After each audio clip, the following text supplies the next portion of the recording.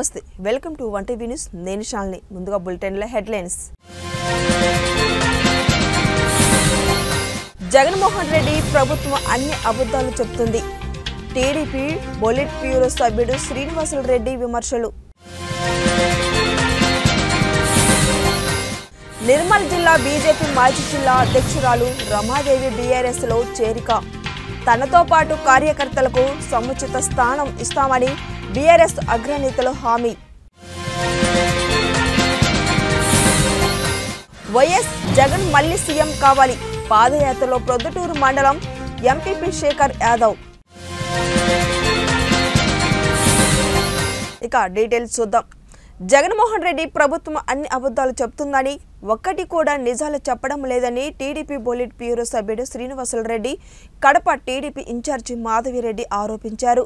Kadapa నగరంలోనే IMA హాల్లో సుబ్బారాయుడు ఆధ్వర్యంలో యాదవ్లో ఆత్మీయ సమ్మేళనం కార్యక్రమం నిర్వహించారు.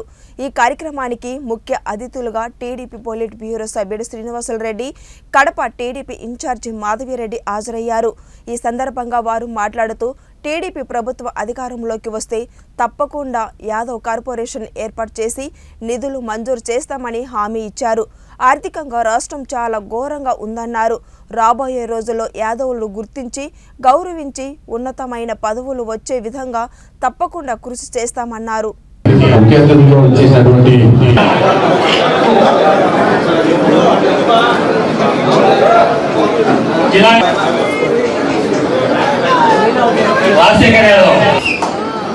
చాలా సన్నిహితంగా ఉన్నాం. మీరు మాట చెబితే ఎంత ఖచ్చితంగా ఉంటారో కూడా నాకు బాగా తెలుసు. ఎంత అభిమానంగా ఉంటారో కూడా నాకు తెలుసు. ఎంత అమాయకులుగా ఉంటారో కూడా నాకు తెలుసు. అంటే అమాయకత్వం ఉంది కాబట్టి మాట మీద కరెక్ట్గా నిలబడతారు. కల్మల కల్మషం లేని కులం. ఆ విషయం నాకు బాగా తెలుసు.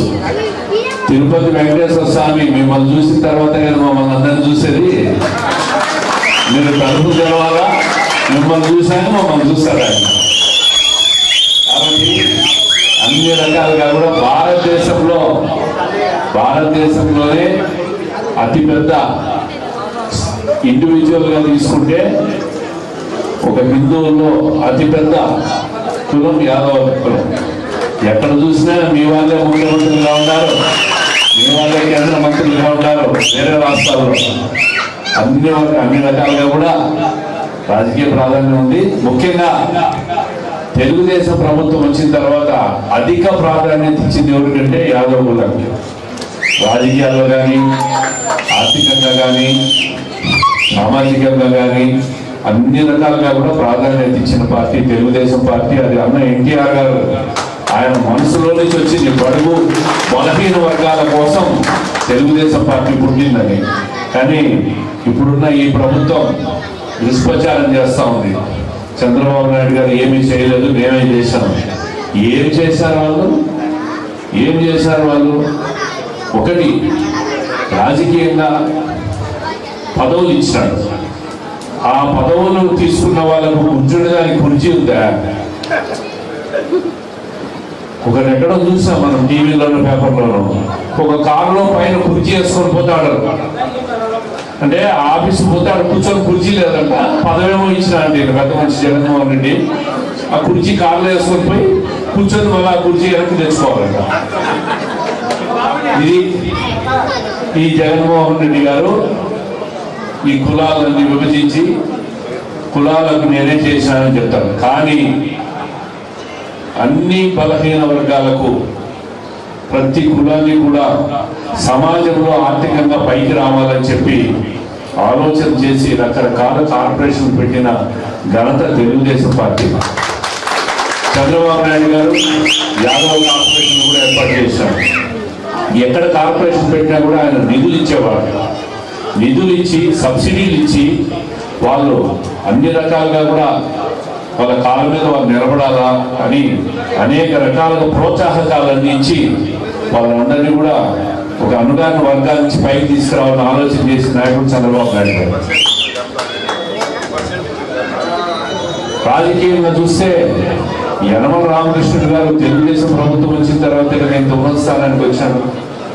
ఈరోజు తెలంగాణ రాష్ట్రంలో చూస్తే శ్రీనివాస్ యాదవ్ మంత్రి. ఎవరు చేశారు అవకాశం ఇచ్చారు ఆయనకు చంద్రబాబు నాయుడు గారు. కృష్ణ యాదవ్. మన జిల్లా నుంచి సుధాకర్ యాదవ్ గారు. TTD board chairman. అంటే తిరుమల తిరుపతి దేవస్థానానికి చైర్మన్గా ఇచ్చి అంత పెద్ద పదవిని రాజకీయంగా ఆదుకున్నాడు నేను మిమ్మల్ని అందరినీ ఒకటే కోరుతా ఉంటాను రేపు ప్రభుత్వం వస్తే చాలా మంది నాకు అందరూ కూడా దగ్గర వాళ్ళందరూ ఉన్నారు బాగా తెలిసి మీ అందరి గురించి నాకు. నేను కూడా చాలా అభిమానంగా ప్రేమగా చెప్తా ఉన్నాం. రాజకీయ స్వార్థంతో చెప్పడంగా తప్పకుండా ప్రభుత్వం వచ్చిన తర్వాత కార్పొరేషన్ ఏర్పాటు చేసి దానికి నిధులు ఇచ్చేదానికి ఖచ్చితంగా చంద్రబాబు నాయుడు గారితో కొట్లాడైన ఆర్థికంగా ఈరోజు చాలా ఘోరమైన పరిస్థితి ఉంది రాష్ట్రం. వారం వారం నేను అప్పు చేస్తాడు జగన్మోహన్ రెడ్డి గారు వారానికి రెండు కోట్లు రెండు వేల కోట్లు రెండు వేల కోట్లు అప్పు తెస్తూనే ఉన్నాడు. జీతాలకు కూడా డబ్బు లేదు. ఇంత కష్టంలో కూడా కార్పొరేషన్ నిధులు ఇచ్చి మీకు అందరికీ కూడా ఆర్థికంగా సపోర్ట్ చేసేదానికి నా వంతు తప్పకుండా కష్టపడతాం కృషి చేస్తాం దాంట్లో రెండో ఆలోచన లేదు. రాజకీయంగా విషయానికి వస్తే జనాభా నిష్పత్తిలో తప్పకుండా రాజకీయంగా కూడా కడప నగరంలో కార్పొరేషన్స్ ఉన్నాయి కార్పొరేటర్లుగా. తప్పకుండా కూడా ఇంకా ఇంకా ఉన్నత పదవులు వచ్చేదానికి కూడా ఎందుకంటే అన్ని ఇచ్చేస్తానని చెప్పి నేను మీకు అందరికి అబద్ధాలు చెప్పలేనప్పుడు నా ఒక్కడి చేతిలోనే ఉండదు అందరితో మాట్లాడాలి కాకపోతే మిమ్మల్ని తప్పకుండా గుర్తిస్తాం గౌరవిస్తాం. ఉన్నత పదవులు వచ్చేదానికి కూడా తప్పకుండా తీసుకెళ్తాం ఈ ప్రభుత్వాన్ని చూస్తా ఉన్నాం. జగన్మోహన్ రెడ్డి ప్రభుత్వం. అన్ని అబద్ధాలు. ఒక్కడి నిజం చెప్పాలి అన్ని కులాలు రాజకీయ పదవులు అంటాడు. మరి చైర్మన్లు అంటాడు వైస్ చైర్మన్లు అంటాడు. దేనికి ఇవన్నీ కూర్చునేదానికి కుర్చీ లేని ఈ కార్పొరేషన్లు ఈ పదవులు దేనికని నేను చెప్పి అడుగుతా ఉన్నాను నిర్మల్ జిల్లా బీజేపీ మాజీ జిల్లా అధ్యక్షురాలు రమాదేవి తెలంగాణ భవన్లో వర్కింగ్ ప్రెసిడెంట్ కేటీఆర్ సమక్షంలో పార్టీలో చేరనున్నారు. ముదుల నియోజకవర్గంలో బైసానా నుండి సుమారు వందకు పైగా ప్రత్యేక వాహనాల్లో సుమారు పదిహేను వందల మంది బీఆర్ఎస్ పార్టీలో చేరనున్నారు.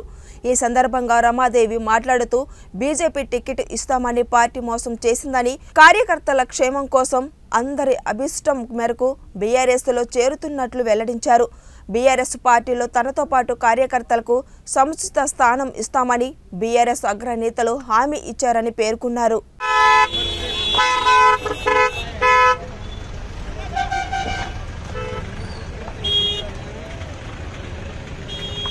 మేడం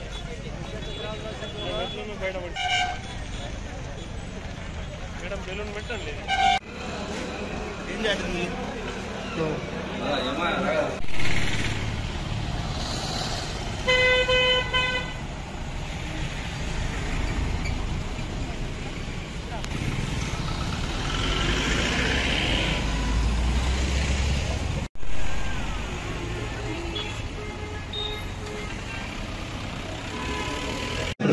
కేంద్రంలో అధికారంలో ఉన్నటువంటి భారతీయ జనతా పార్టీ ప్రభుత్వం మరి ఓట్ల కోసం పేరు కోసం ముప్పై మూడు శాతం మహిళలకు రిజర్వేషన్ అని చెప్పి చట్టాన్ని తీసుకువచ్చి రేపు రాబోయే రోజులలో జరిగే పార్లమెంట్ ఎన్నికలలో సీటు పైన కూర్చునేందుకు తెచ్చినట్టు ఇవాళ రమాదేవి గారి ఉదంతం ద్వారా అది రుజైంది ఎందుకంటే ఇరవై సంవత్సరాల నుంచి భారతీయ జనతా పార్టీ కోసం భారతీయ జనతా పార్టీ అభ్యున్నతి కోసం ప్రజలలో నిత్యం ప్రజలలో ఉంటూ ఒక మహిళగా ఆమె పనిచేస్తూ పోతుంటే ఒక వ్యాపారికి ఒక బడా వ్యాపారికి డబ్బులు తీసుకొని వాళ్ళ భారతీయ జనతా పార్టీ టికెట్ ఇచ్చిన నేపథ్యం చూస్తే మహిళల పట్ల మహిళల సంక్షేమం పట్ల మహిళల పట్ల వాళ్ళకు ఉన్నటువంటి గౌరవం దీంతో కేటంతలమైంది దానికోసం ఇవాళ భారత రాష్ట్ర సమితి కేసీఆర్ గారి నాయకత్వంలోని భారత రాష్ట్ర సమితి ఇవాళ రమాదేవి గారిని ఇవాళ పోవడం జరిగింది. అండమ్మ మీలాంటి నాయకురాలు ఇవాళ ఈ తెలంగాణ రాష్ట్రానికి అవసరం తెలంగాణ రాష్ట్రం యొక్క పునర్వైభవం కోసం మీలాంటి నాయకురాలు ఉండడం మాకు అవసరం అని చెప్పి కోరిన మేరకు దాదాపు ఇరవై సంవత్సరాల క్రితము అంటే రెండు వేల ఇరవై నాలుగు ఆనాడు చంద్రబాబు నాయుడు గారిని చూసి వారి యొక్క విజన్ని చూసి నేను తెలుగుదేశం పార్టీలో విజయ్ కొంచెం డౌన్ చేయి. తర్వాత దాదాపు ఇరవై సంవత్సరాల నుండి ఇప్పటి వరకు ఈ నియోజకవర్గంలో ఉంటూ ఈ ప్రజలకు సేవలను అందిస్తూ రెండు వేల పద్నాలుగులో ఆనాడు భారతీయ జనతా పార్టీ నాకు ఇక్కడ ఎమ్మెల్యే క్యాండిడేట్గా నాకు అవకాశం ఇవ్వడము. నేను ఆ అవకాశాన్ని వినియోగించుకొని దాదాపు నలభై ఎనిమిది వేల ఆరు వందల ఎనిమిది వందల ముప్పై రెండు ఓట్లతోనే నేను రెండో స్థానంలో ఓడిపోవడం జరిగింది. మళ్ళీ కూడా భారతీయ జనతా పార్టీ నాకు టికెట్ ఇవ్వడము. అటువంటి కష్టకాలంలో కూడా రెండు వేల పద్దెనిమిదిలో అందరికీ తెలిసిన విషయమే. రాష్ట్రమంతటా ఒకే ఒక ఎమ్మెల్యే ఎన్నికైనటువంటి సందర్భంలో కూడా నేను ఒక మహిళగా అత్యన్ అత్యధిక ఓట్లను నేను తీసుకొచ్చుకొని ఒక డిపాజిట్ తెచ్చుకున్నటువంటి మహిళను భారతీయ జనతా పార్టీలో నేను. అలాంటి నన్ను నేను ఇన్ని సంవత్సరాల నుండి ఇక్కడ పనిచేసి ఇంత కష్టపడి ఈ పార్టీ కోసం నేను ఇరవై నాలుగు గంటలు నేను శ్రమించి నేను ఒక నమ్మకంతో ఎందుకంటే భారతీయ జనతా పార్టీ పేదవాళ్ళ పార్టీ కాబట్టి ఒక సామాన్య కార్యకర్త ఏ స్థాయికైనా వెళ్ళగలడు అన్న ఒకే ఒక నమ్మకంతో నేను పార్టీని పట్టుకొని ప్రజలకు సేవ చేయాలని నేను ఇక్కడ ఉండడం జరిగింది. అయితే మీ అందరికి కూడా తెలుసు నేను ఒక పొలిటికల్ ఫ్యామిలీ నుండి రాలేదు ఏదో పెద్ద ఇండస్ట్రియల్ ఫ్యామిలీ నుండి కూడా రాలేదు. నేను బాగా చదువుకొని ఒక సైంటిస్ట్గా నేను జాబ్ చేస్తూ నాకు ఈ రాజకీయాలలో వచ్చి నాకు ప్రజలకు సేవ చేయాలన్న ఉద్దేశంతో నేను పాలిటిక్స్ రావడం జరిగింది. అప్పటి నుండి ఇప్పటికి కూడా నేను ప్రజలకు సేవ చేస్తూ ఒక పదవి కనుక ఉండేది ఉంటే ఎక్కువ అది అవకాశం ఉంటుందన్న ఉద్దేశంతో నేను పాలిటిక్స్ రావడం జరిగింది. కానీ రాజకీయాలలో ఇప్పుడు చూసినట్లయితే అసలు పాలిటిక్స్ అంటే ఇంత ఘోరమైన పాలిటిక్స్ ఉంటాయా? ఎందుకంటే ఒక రెండో స్థానంలో ఇక్కడ ఉన్నటువంటి వ్యక్తిని కాదని వాళ్ళు ఒక మూడో స్థానంలో ఉన్నటువంటి వ్యక్తిని తీసుకొచ్చి అనేక రకాలుగా నన్ను ఇబ్బంది పెట్టి కొమ్మన లేక పొగబెట్టినట్టు ఆ విధంగా చేసినా కూడా నేను పార్టీ వదిలి నేను వెళ్ళలేదు. ఎందుకంటే పార్టీ నాకు న్యాయం చేసేదని చెప్పి. అప్పటికప్పుడు ఒక గంటలోనే నా పేరు మారిందని తెలిసి నిజంగా నేను తట్టుకోలేకపోయాను. సరే నాకు టికెట్ ఇవ్వకపోయినా కూడా మన రాష్ట్ర అధ్యక్షులు కిషన్ రెడ్డి గారు కానివ్వండి మాజీ అధ్యక్షులు మన బండి సంజయ్ కుమార్ గారు కానివ్వండి అదేవిధంగా బన్సాల్ గారు కానివ్వండి ఎవరైనా నాయకులు కనీసం నాకు ఫోన్ చేసి నన్ను అడుగుతారేమో అని నేను నాలుగు రోజులు నేను ఎదురు చూడడం జరిగింది. వైఎస్ జగన్ మళ్ళీ సీఎం కావాలని ప్రొద్దుటూరు రాచమల్ల శివప్రసాద్ రెడ్డి మూడోసారి ఎమ్మెల్యే కావాలని ప్రొద్దుటూరు నుంచి నందవరంగి ప్రొద్దుటూరు మండలం ఎంపీపీ శేఖర్ యాదవ్ పాదయాత్ర చేపట్టారు. మళ్ళీ జగన్మోహన్ రెడ్డి సీఎం అయితే పేద బడుగు బలహీన వర్గాలకు మరింత మేలు జరుగుతుందని అన్నారు. గత టీడీపీ ప్రభుత్వంలో ఎటువంటి అభివృద్ధి జరగలేదని వైఎస్ఆర్ ప్రభుత్వం ఏర్పడిన తర్వాత రాష్ట్రమంతా అభివృద్ధి బాటలో పయానిస్తుందన్నారు. పాదయాత్ర విజయవంతంగా జరగాలని రామేశ్వరం చౌడం అమ్మవారిని ఆశీస్సులు తీసుకొని ఎమ్మెల్యే రాచమల్లు శివప్రసాద్ రెడ్డి జెండా ఊపి ప్రారంభించారు.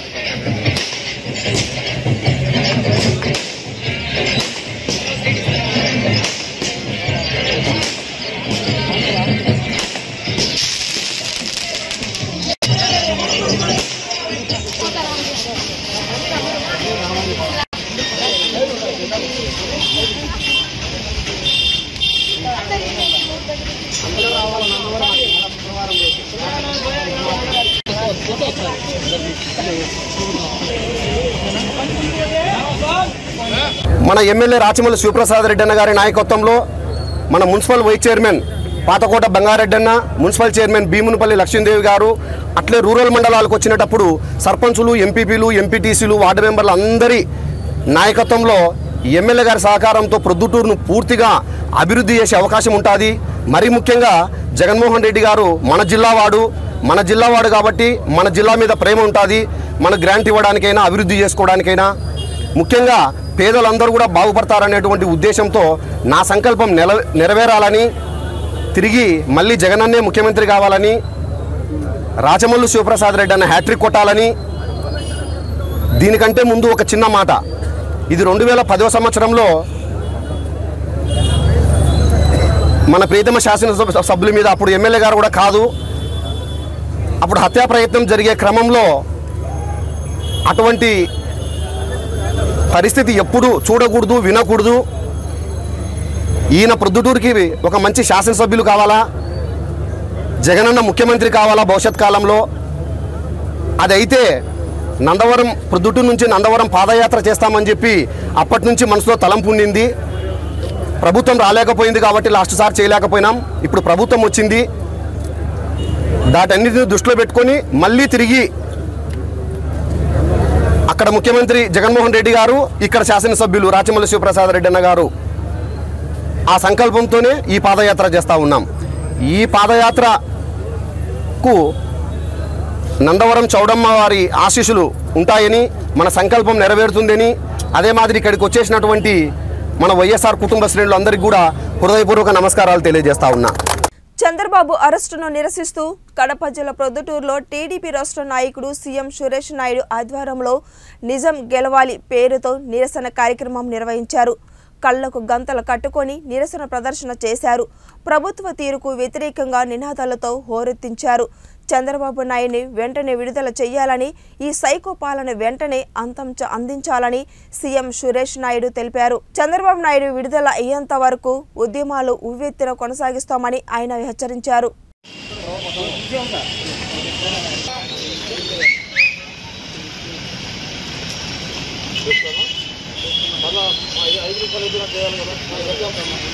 గెలవాలి గెలవాలి.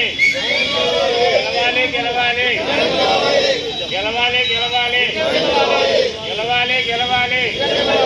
గెలవాలి గెలవాలి.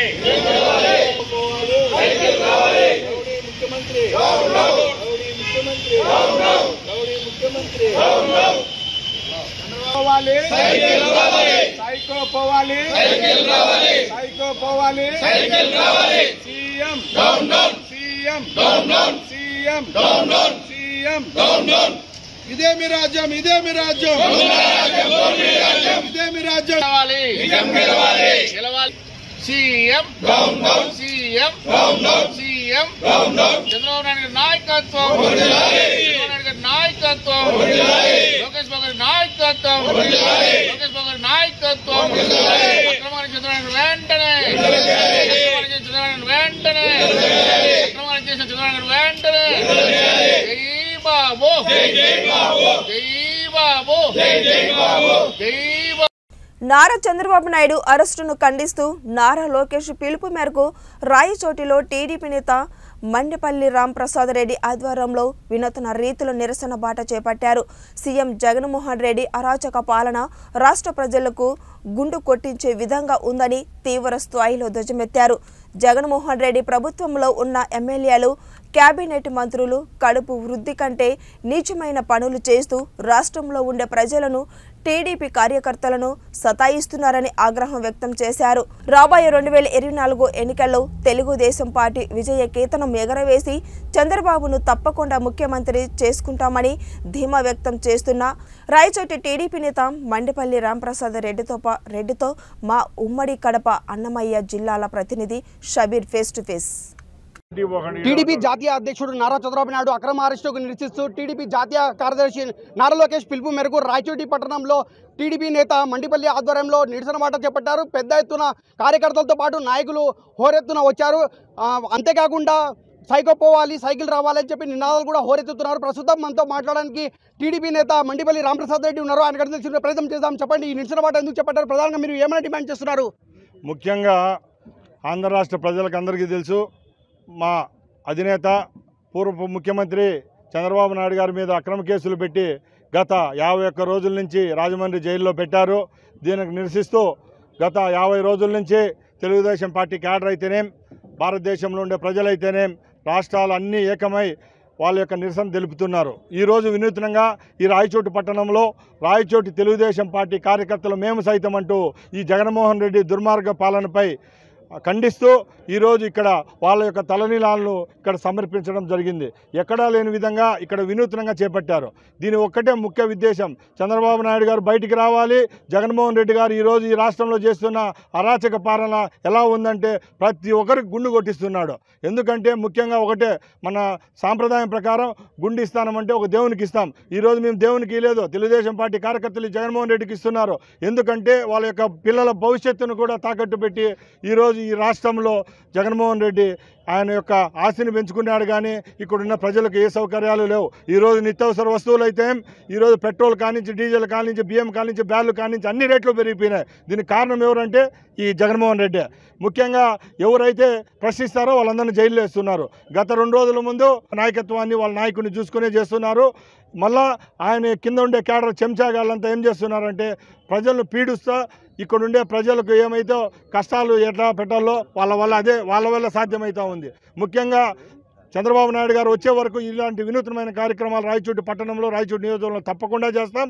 మా నాయకునికి సంఘీభావం తెలియజేసిన ప్రతి ఒక్క కార్యకర్తలకు ధన్యవాదాలు తెలియజేసుకుంటాం. ప్రధానంగా నారా చంద్రబాబు నాయుడు అరెస్ట్ యాభై రోజులు అవుతున్నా ఇప్పుడు కూడా బెయిల్ కూడా దొరకడం లేదు. దీని గురించి మీరు ఎలా పరిగణన తీసుకుంటున్నారు? ముఖ్యంగా ఎవరి స్థాయిలో భారతదేశ రాజ్యాంగంపై రా- భారతదేశ న్యాయస్థానాలపై ప్రతి ఒక్కరికి అపూర్వమైన నమ్మకం ఉంది. దాన్ని నేను కామెంట్ చేసేదానికి సిద్ధంగా లేను. ఒకటైతే చెప్పగలుగుతున్నాను ఒక యాభై రోజులు ఇంకో డెబ్బై రోజులు కావచ్చేమో కానీ జీవితాంతం చంద్రబాబు నాయుడు గారిని ఎవరు లోపల పెట్టారు.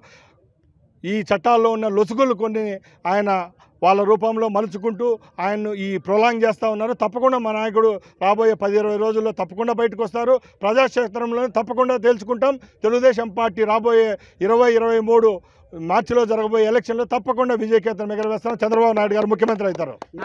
నారా భువనేశ్వరి బస్సు యాత్ర చేపడితే నిజం గెలవాలని వైసీపీ నేతలు ఆ, నిజం గెలుస్తూ నిజమే గెలిచిందని చెప్పి హేళన చేస్తున్నారు దీని గురించి స్పందిస్తున్నారు మీరు. అయ్యా ఒకటే చెప్తున్నా. జగన్మోహన్ రెడ్డి యొక్క కార్యకర్తలు అయితేనే ఆయన అయితేనే ఆయన సలహాదారులు చేస్తారనేది అదే పనికిమాలిన పని. నాలుగున్నర సంవత్సరం నుంచి వాళ్ళు మంచి చేసే జాలి చేసి ఈ సెటర్లు వేసుకుంటున్నారు. మన ఊర్లలో తోలుబొమ్మలు ఆడించే వాళ్ళు కొందరు ఉంటారు రికార్డింగ్ డ్యాన్సులు వేసే వాళ్ళు కొందరు ఉంటారు పుట్టకూటి కోసం కొన్ని కొన్ని రకాల వృత్తులు చేసే వాళ్ళు ఉంటారు. వీళ్ళందరూ వాళ్ళు గౌరవంగా బతుకుతారు ఈ జగన్మోహన్ రెడ్డి ప్రభుత్వంలో క్యాబినెట్ అయితేనే ఎమ్మెల్యేలు అయితేనే వాళ్ళు చేస్తారనేది పడుపు వృత్తి కంటే నీచమైన ప- పనులు చేస్తా ఇక్కడ ఉండే ప్రజలను తెలుగుదేశం పార్టీ కార్యకర్తలు సతాయిస్తాను నారా చంద్రబాబు నాయుడు విడుదల కాకపోతే భవిష్యత్ కార్యాచరణ ఎలా ఉండబోతోంది? ఒకటే చెప్తున్నాను నలభై వేల కోట్ల ఆస్తి సంపాదించుకొని వాళ్ళ నాయన్ని అడ్డం పెట్టుకొని వేల కోట్లు ఆస్తులు కట్టుకొని ఉండాయన అతి తొందరలో బయటకు వచ్చేసినాడు ముఖ్యమంత్రి అయినాడు మళ్ళా ముఖ్యమంత్రి పదవి కూడా కోల్పోయేదానికి దగ్గరలో ఉంది. ఈయన ఏం చేసినాడు కాబట్టి ఒక తుపారి స్కాములో ఆయన్ను ఒక దోషిగా చేసి లోపల పెట్టినారు. అవన్నీ నిలవడవు చట్టం మీద మాకు నమ్మకం ఉంది. చట్టాన్ని లొసుగులను వాళ్ళు వాడుకుంటున్నారు కానీ ఎల్లకాలం వాళ్ళ మాట చెల్లదు. తప్పకుండా ధర్మం గెలుస్తుంది. ఈ ధర్మ యుద్ధంలో తెలుగుదేశం పార్టీ నాయకుడు చంద్రబాబు నాయుడు గారు బయటకు వస్తారు తప్పకుండా ఆయన ముఖ్యమంత్రిగా వచ్చి రాబోయే ఐదు సంవత్సరాల సువర్ణ యుగం ముందుందని తెలియజేసుకుంటున్నారు. టీడీపీ అధినేత నారా చంద్రబాబు నాయుడు కేవలం కక్ష సాధింపు చర్యలో భాగంగానే అరెస్ట్ చేశారని చెప్పి ఆ, టీడీపీ నేత మండిపల్లి రామప్రసాద్ రెడ్డి గారు తీవ్ర స్థాయిలో ధ్వజం ఎత్తుతున్నారు. అంతేకాకుండా చంద్రబాబు నాయుడు విడుదలైనంత వరకు తమ ఉద్యమాలను ఉద్దం ఉధృతం చేస్తామని చెప్పి టీడీపీ నేత మండిపల్లి రామప్రసాద్ రెడ్డి హెచ్చరిస్తున్న పరిస్థితి కెమెరా పర్సన్ సలాతో షబ్బీర్ వంటి న్యూస్ అన్నమ జిల్లా. వరంగల్ నగరంలోని సిపిఎం పార్టీ జిల్లా కార్యదర్శి రంగయ్య ఆధ్వర్యంలో సమావేశం జరిగింది. సిపిఎం పార్టీ ఆధ్వర్యంలో వేసిన జగ్గులొద్ది గుడిసెల వాసులను తూర్పు నియోజకవర్గం ఎమ్మెల్యే బీఆర్ఎస్ పార్టీ అభ్యర్థి నన్నపునేని నరేందర్ తన అనుచరులతో గుడిసెల వాసులని బెదిరిస్తూ బీఆర్ఎస్ పార్టీలో చేరాలని అంటున్నారని సిపిఎం పార్టీ కేంద్ర నాయకులు వీరయ్య నాగయ్యలు ఎమ్మెల్యే నారేంద్రపై మండిపడ్డారు. విధానం చేసింది పార్టీ. హనుమకొండలో అప్పోజ్ సమ్మయ్య అట్లాగే రామ సురేందరు రఘునాథు అట్లాగే మైబెల్లి పాష ఇట్లాంటి వాళ్ళందరూ కూడా ఈ పోరాటంలో అమరులైన అమరులైనటువంటి కుటుంబాల కుటుంబాలు కూడా చాలా ఇబ్బందులు ఎదుర్కొంటున్నటువంటి పరిస్థితులు ఉన్నాయి. కానీ ఈ సందర్భంగా జక్కరొద్ది స్థలం వర్ధనపేట నియోజకవర్గంలో ఓటర్లు ఇక్కడ ఉండొచ్చు. అయితే మేము వేసిన గుడిసెల మీదకి పోయి మమ్మల్ని ఎలగొట్టి మేము అక్కడ జెండా బాతుకుంటామని చెప్పేసి అసలు ఇంత అన- అనైతికమైనటువంటి చర్యకి దౌర్జన్యకరమైన చర్యలకి ఎవరు పాల్పడరు. ఇది కొత్త వింత.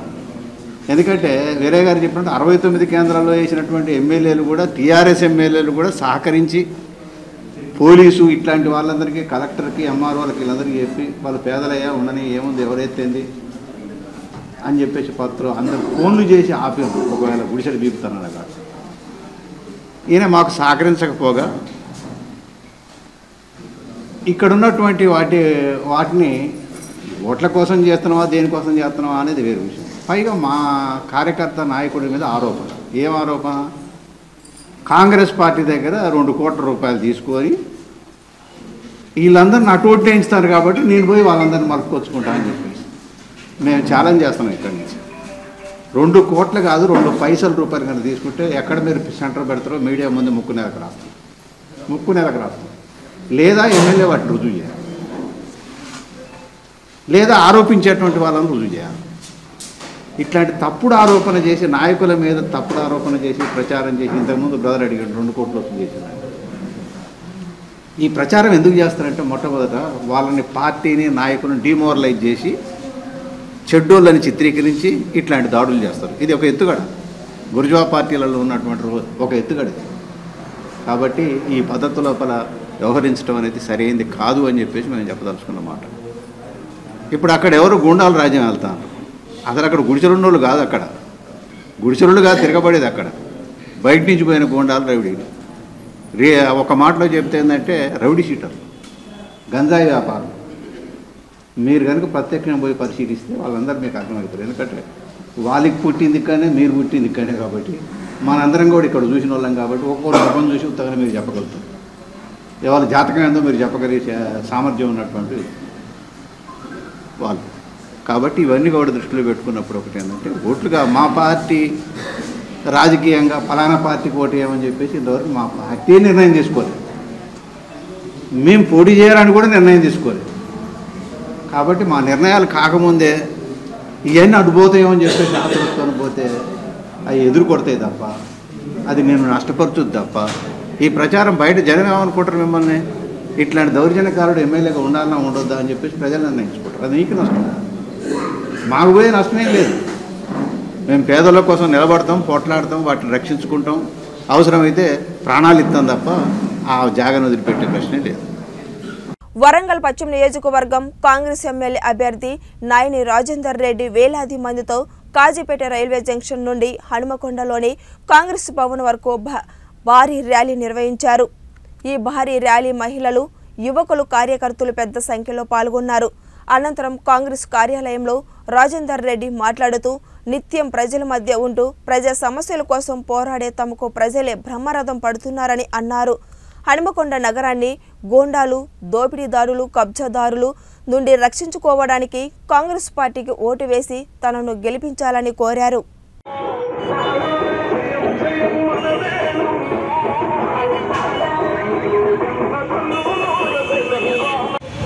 మళ్ళీ మళ్ళీ మోసపోయినవని సిలువైన వస్తాను నీ పాటనే?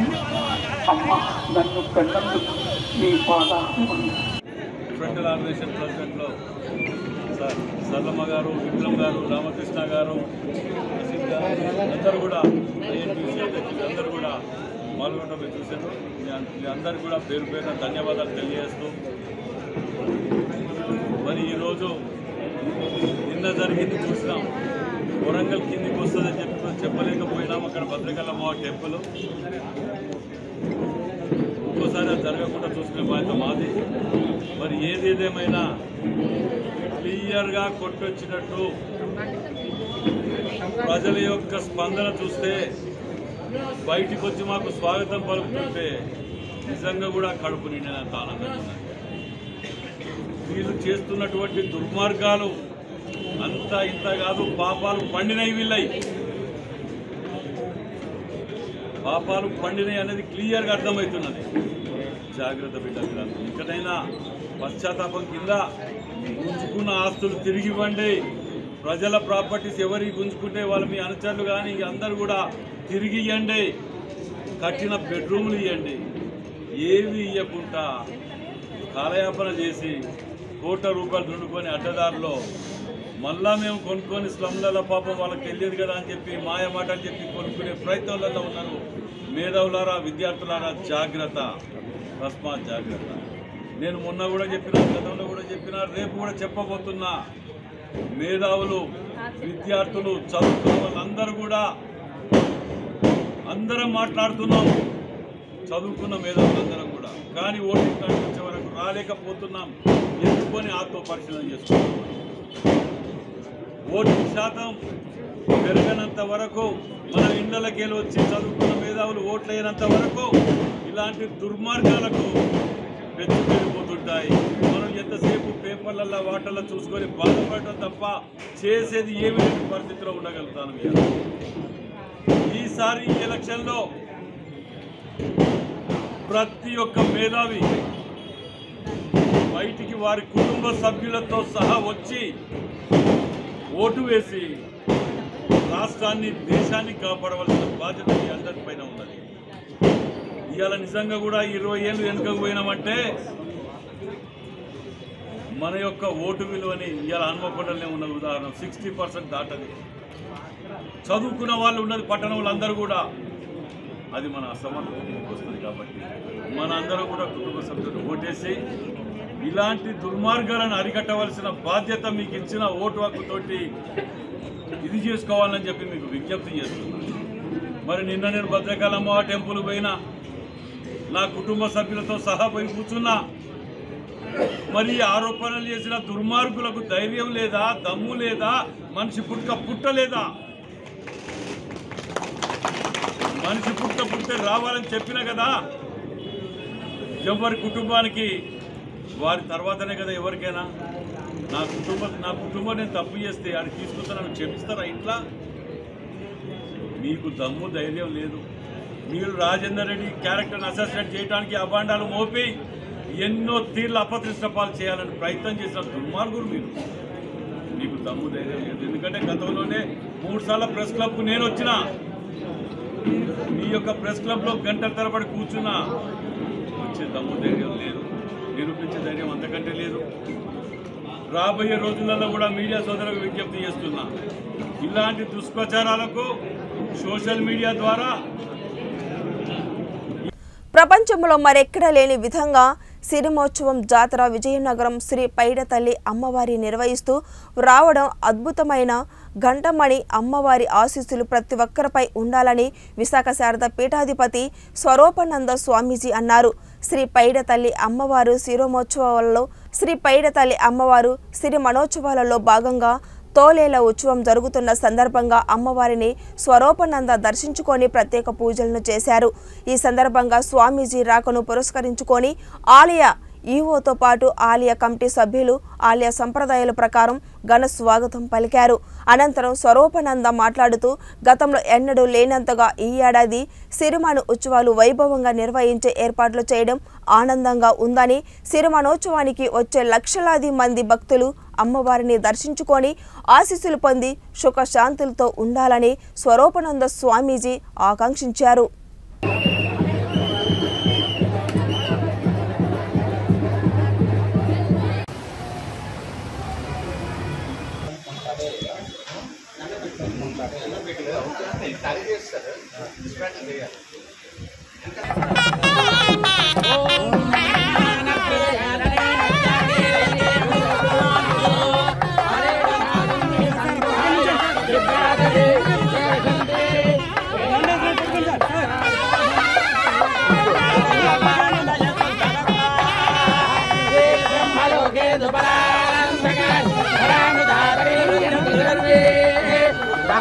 Bye.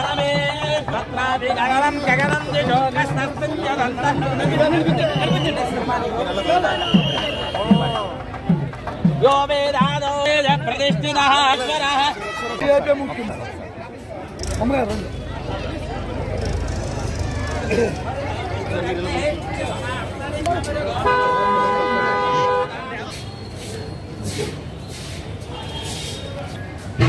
విజయనగరం పైడితల్లి అమ్మవారు ఉత్సవాలంటేనే ఒక ప్రత్యేకత ఉంది. ఏ రాష్ట్రంలో కూడా జరిగిన విధంగా ఈ విజయనగరం జిల్లాలో చాలా అత్యద్భుతంగా అనాదిగా ఎప్పటి నుంచో ఇక్కడ సిరిమాన ఉత్సవాలు జరగడము లక్షలాది మంది భక్తులు ఎక్కడెక్కడ సెటిల్ అయి ఉన్నా ఇటు ఒరిస్సాలో కానీ అటు కర్ణాటకలో కానీ తెలంగాణలో కానీ ఎక్కడ సెటిల్ అయినా వాళ్ళు వచ్చి దర్శనం చేసి లక్షలాది మంది జనాలు అమ్మవారి యొక్క అనుగ్రహం పొందే దివ్యమైన ఒక క్షేత్రంగా వెలుగుతుంది విజయనగరం క్షేత్రం. అటువంటిది ఈ సంవత్సరం ఇంతవరకు ఏర్పాట్లు అవి చాలా అద్భుతంగా సురేష్ ఇక్కడ ఈవో గారు వీళ్ళందరూ చాలా బ్రహ్మాండంగా ఏర్పాట్లు చేశారు. రేపు చాలా దేదీప్యమానంగా గొప్పగా ఎటువంటి ఇబ్బందులు లేకుండా అమ్మవారి యొక్క కృపచేత బాగా జరగాలని అమ్మవారిని ప్రార్థించి